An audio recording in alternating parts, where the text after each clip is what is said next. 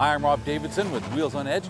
This is the two minute review, and we're looking at the 2014 Volkswagen Jetta GLI. Now, the GLI has always been uh, kind of a juiced up Jetta version. They'd always put a lot more stuff into it, a lot more options into it, and uh, made it a, a little more performancy. But, but then in 2013, they decided to really go for the gusto, and they put sports suspension front and back, and then they replaced the five-cylinder engine with their little uh, two-liter turbo four-cylinder, a great little engine that really knows how to get up and go.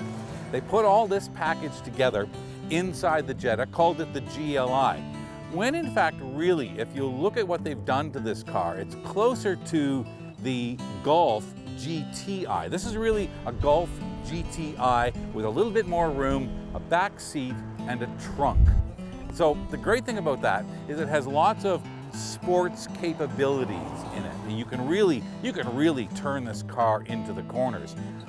On the other hand, when you're done really ripping through the corners, you can take it to Home Depot and pick up the stuff that you need. And the grocery store and a whole bunch of other places and really pack it to the ceiling because there's a lot of room in this little car. Really the only drawback I can think to this car at all is the fuel economy. Uh, it states, the Volkswagen website says it, it uses about 6.1 liters of high-test premium fuel to go about 100 kilometers.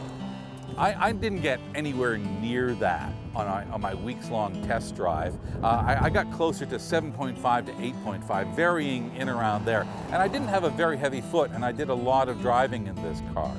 Uh, so fuel economy, meh. Performance, yes. Roominess, right on. So make your choice.